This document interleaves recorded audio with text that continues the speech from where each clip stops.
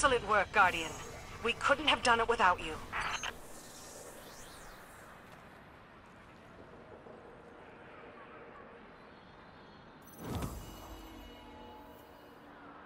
Taken, Scorn, the Hive. Our true enemies aligned to a spearhead to halt our rescues of the Techeuns. No mention of House Salvation or the Cabal? House Salvation is in ruins. You saw to that. As for the Cabal, I am not worried about Empress Caiatl. She and I will see eye to eye one day. But Calus... I agree. Calus is a problem. We should discuss what the Vanguard found aboard the Glykon. In private.